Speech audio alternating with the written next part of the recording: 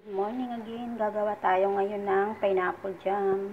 Ayan, meron na ako ditong nag-grind na na blender na pineapple. So, ito ang mga ingredients.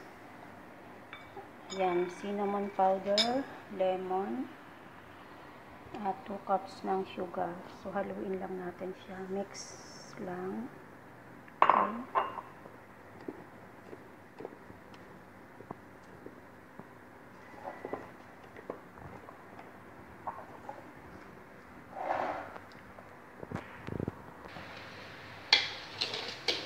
Ayan, haluin lang natin siya.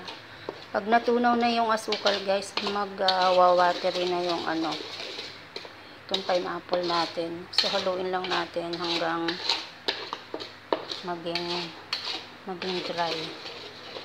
Ayan. natin ng kumulo. Okay, kumukulo na siya ng konti. Ilagay na natin ang mga spices. Mm -hmm.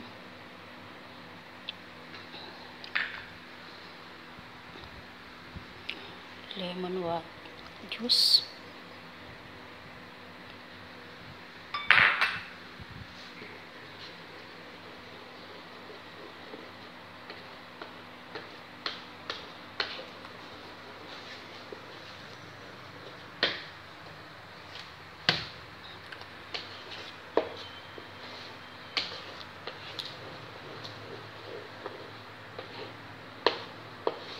Wait lang natin na mag kumulo siya guys. Yan after 5 minutes.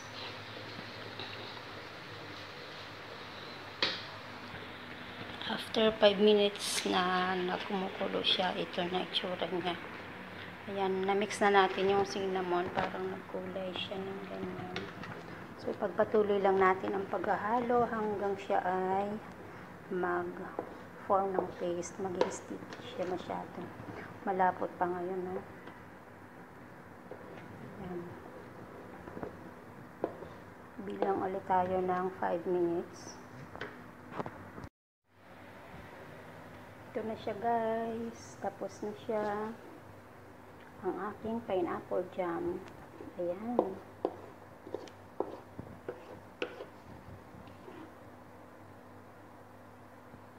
Almost done. Sticky na siya lagay natin sa jar. Ayan guys, tapos na ang ating pineapple jam. Yay! First time kong gumawa. Success. Yan, mukha siyang masarap. Pantik na natin. Hmm.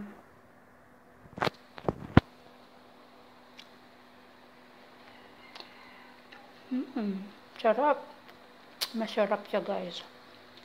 Mm, nagpabango sa kanya yung ano pa yung cinnamon. Saka mas masarap sa le yung lemon. Lagyan ko kasi siya yan guys ng lemon.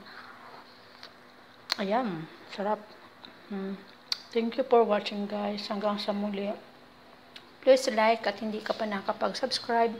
Mag-subscribe ka na sa aking channel para ma-notify din kita. Tap the bell button para sa susunod ko pang mga videos. Manonotify kita. Thank you for watching.